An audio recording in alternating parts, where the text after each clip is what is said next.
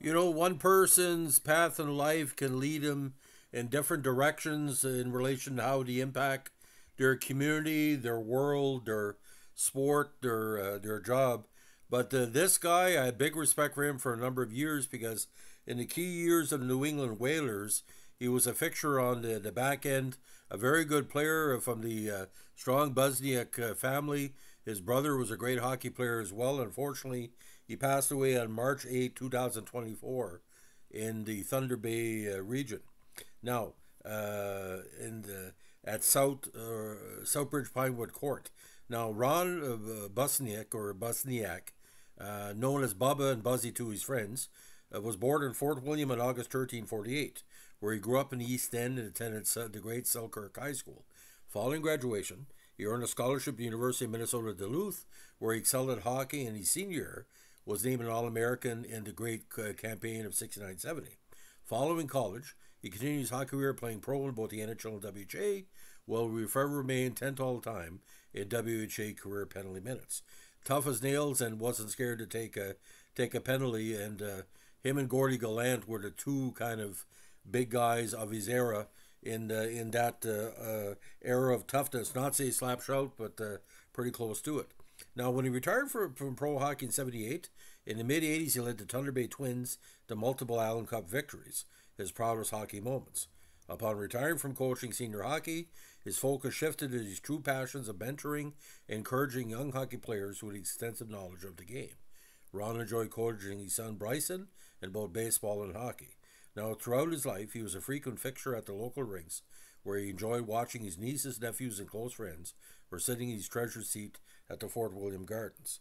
Now, his passion for hockey continued later in life as he enjoyed traveling to states with his beloved wife Paula to watch Bryson play and later on to visit her grandchildren in Charleston, South Carolina, where he spent many winters.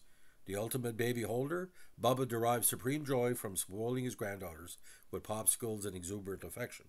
Known by those who loved him as an avid connoisseur of fine foods, he always knew where to find his favorite dishes, uh, where wherever his travels took him. His love of food was only surpassed by his love and curiosity for people. A natural raconteur, Ron had a true gift for connecting with others through storytelling.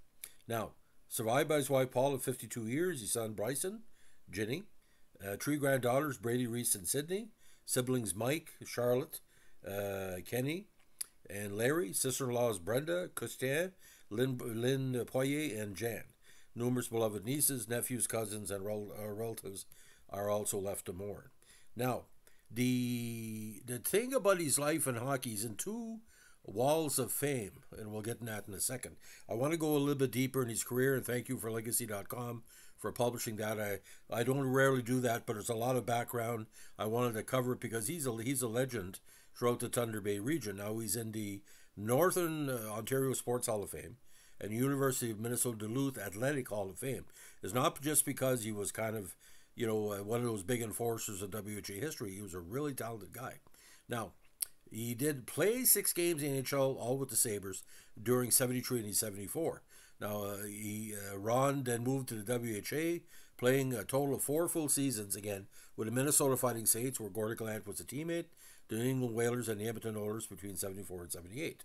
Now, prior again to pro hockey, University of Minnesota Duluth Bulldogs were one of their best errors and again, he's All American his senior year. Now, at 5'11, 180, very deceptive. He played like a 6'2 player. I saw him play numerous games at WHA, and uh, he was sort of like. Uh, like a bigger version of uh, on the ice of Rick Green with the tenacity of a good, you know, a defenseman that wasn't scared to say, "Listen, leave our top players alone. I'm going to take their part." Now he played the AHL with the Nova Scotia Voyageurs, and of course the great era of the Cincinnati Swords, which were a Buffalo affiliate. He was also named to the AHL First All Star team. Now, the Thunder Bay Twins senior hockey team won consecutive titles in the Allan Cup in uh, the 1980s. Now, uh, brother Mike, of course, who also played the NHL, uh, broke in with the Fort William Kings of the TBAHA and the Fort William Canadiens of the TBJHL in 65. With Fort William in uh, 66, he had 42 points in 30 regular season contests with 15 goals. 67, he played the Memorial Cup uh, with uh, Fort William, uh, 20 points. Now, with the Duluth uh, over those three seasons, some terrific numbers, almost a point a game pace. In 28, 29, 28 games, he had 20, 27, and 28 contests. And of course, 68 uh, uh, was the the 10 goal campaign. And of course, 1970, uh, his point total went up to 73. Now, when he uh, joined the Voyageurs for two seasons, we knew that he was there for a reason. Good on defense and good to protect his fellow players.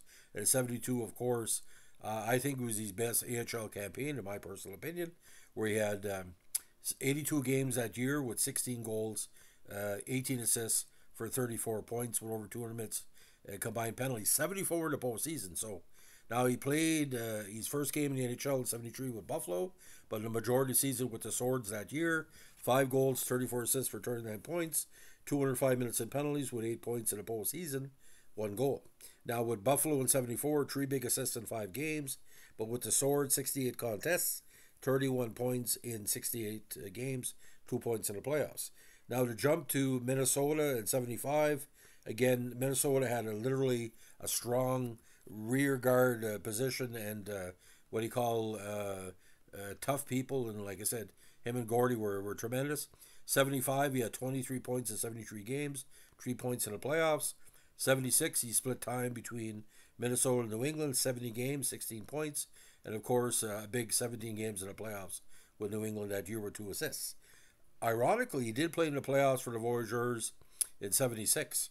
Now, 77 uh, with the Whalers again, 10 points in 55 games, and 29 with Edmonton. So that year, 14 contests in uh, uh 80, uh, 84 games and uh, five games in the pole, pole season.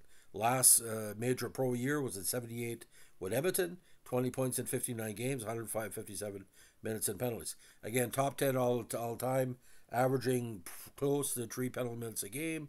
Uh, with WHA, 9 goals, 64 assists for 73 points, 76, 762 minutes in penalties, 7 points in 39 postseason contests with uh, three uh, three different franchises, and again, uh, two goals.